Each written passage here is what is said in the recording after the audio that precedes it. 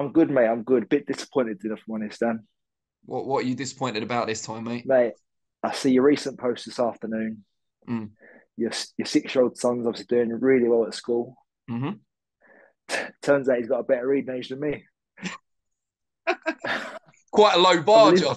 Mate, I'm livid. I'm livid. Now, what's, what's going on with a little? What's going on with a little goatee there, mate? What's uh, It's you, mate. You've inspired me.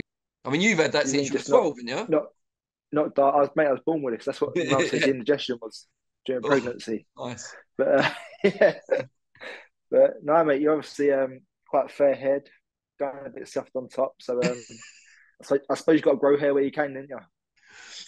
Anyway, um, Yes. no, I really hope you get the fight wherever it happens to take place. And yeah, hope you pull it off Thank you, Flexpest. anytime, John. Take care, mate. Speak soon. Cheers, mate. Thank you.